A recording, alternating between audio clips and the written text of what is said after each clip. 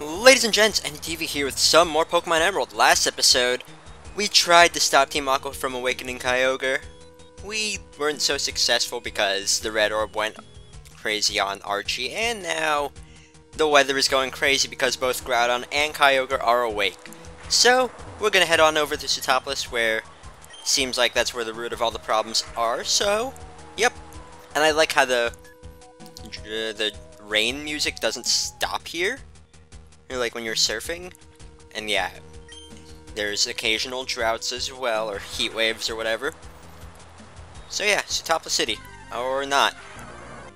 Needless to say, in Ruby and Sapphire, only one of those super ancient Pokemon is awake, and in Ruby it's Groudon, and in Sapphire it's Kyogre. And of course we still would have to go to Sootopolis City to solve everyone's problems, I guess. Yeah, Sootopolis City is Sootopolis City is over here in uh, Route 126, and it, to get to Sootopolis City, you have to go underwater, which is interesting, I guess. At least we're kind of safe from all of that rain and sun while we're underwater. But yeah, Sootopolis City is right over here. So let's just go in and see what's going on. Yay, Wailord.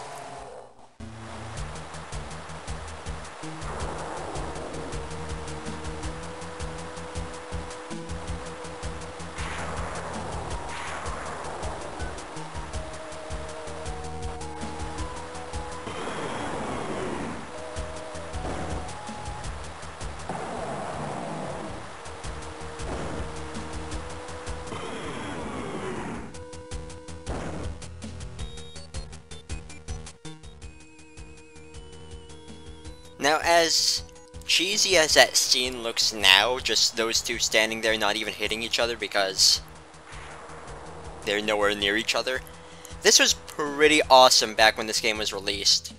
Not gonna lie. And yeah, people are watching them fighting. But uh, yeah, it's kind of weird that Groudon is just like in one small stretch of land right over there. It's not. I highly doubt it's gonna win, but due to story purposes, Groudon and Kyogre are pretty much evenly matched. But uh, yeah, the weather is all wild because of those two. These giant Pokemons only appeared in the middle of the city. Yeah, that that would be a thing. Yeah, they can't be friends because the game says so.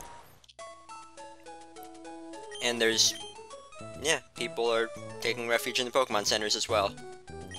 Everyone in town is taking refuge. Yeah, I, I would rather have these people stay inside rather than be outside watching. Oh, and this is a move tutor. I, yeah, the double edge move tutor. Yeah, I'm not gonna do that.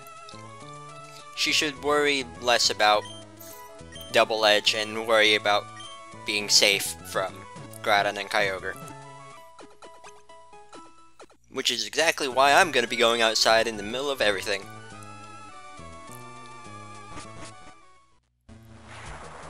Yeah, can't go through to this part of the city, but whatever. Nothing really important for us there. And over here, there's Maxie and Archie. Kyogre, what's wrong? Look over here, it's the red orb. Calm down, Kyogre. I don't know. I can just imagine, like, um... Just Archie just... His hands up in the air with the red orb and one of it just flailing about. I don't know, I think that's kind of funny. And Maxie, he he knows better. Yeah. He's not gonna try to wave the blue orb around. And before I talk to Steven over there, let's um talk to some of these NPCs here. Yeah, she's kind of taking it safe, but these three, they're just sitting there watching. There's an ancient legend that claims the land and sea were shaped by a colossal battle between Pokemon. Well, I'm... Yeah, you you kind of are seeing that, but that's kind of dangerous as well. And this guy's just cheering both of those on. I don't think he understands just how dangerous the situation could be. Oh well. And you. The, the Pokemon aren't angry? Um, I think they're angry at each other. This Pokemon fighting Groudon Kyogre. The two super ancient Pokemon were awakened from a long sleep. So are they cranky? And now they're smashing each other with their uncontrollable energy. Ralph, you being here now I'll take to mean that you're prepared to become involved in this crisis. Um, I guess. Okay, guess we're gonna follow Steven. Not even gonna go into the mart or anything. Where is he taking us? Listen, Ralph. Seeing Groudon and Kyogre make you think Pokemon are to be feared? But that's not true. Pokemon are really more. Why am I asking you this? You already know. No, I don't. That was just kind of out of nowhere.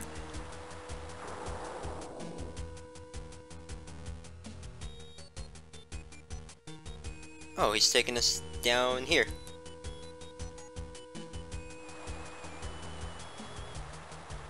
Okay then.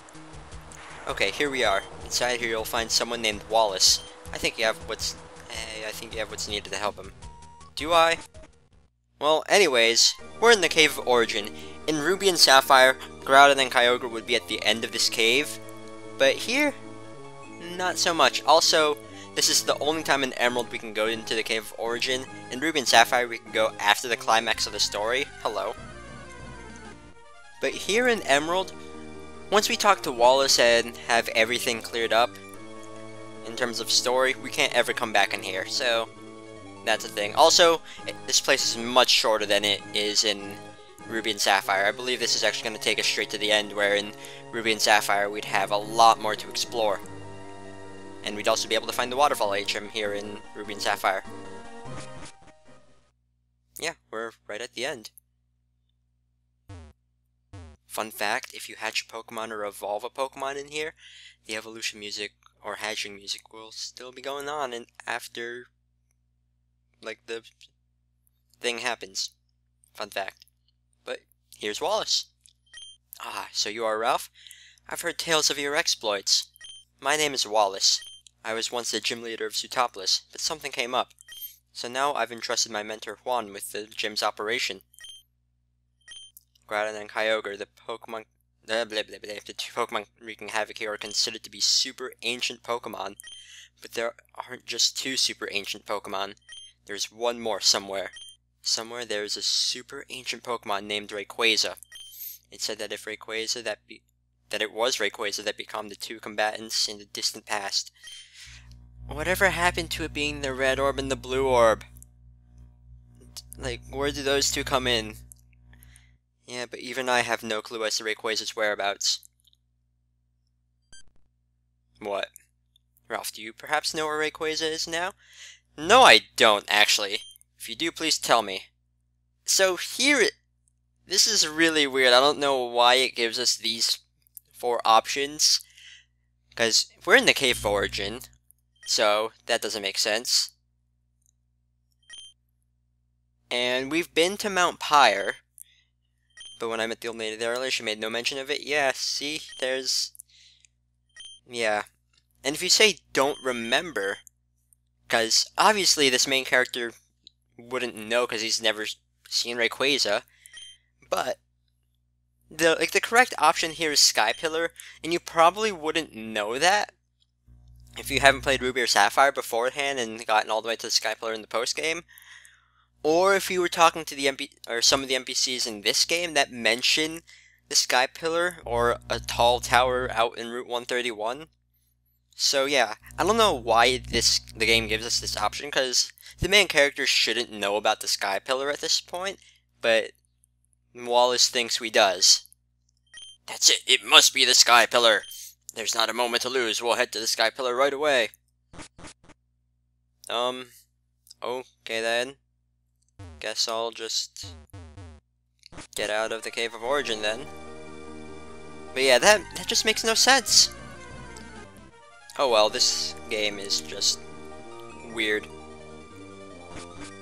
Well, might as well just leave the Cave of Origin then. And what do you two say? A person with a strong will and superior talent, a trainer who has knowledge and experience of many kinds of Pokemon. Uh, if such a person were to appear as instructed by Wallace to lead that trainer to this cave. Okay then, Sky Pillar, I've never been there. I wonder where it could be. If you've been talking to some of the the NPCs in this game. Some of them will mention that it's in Route 131, but for now, I'll end it off here. We'll head to the Sky Pillar in the next episode. So, see you guys next time for some more Pokemon Emerald. Later!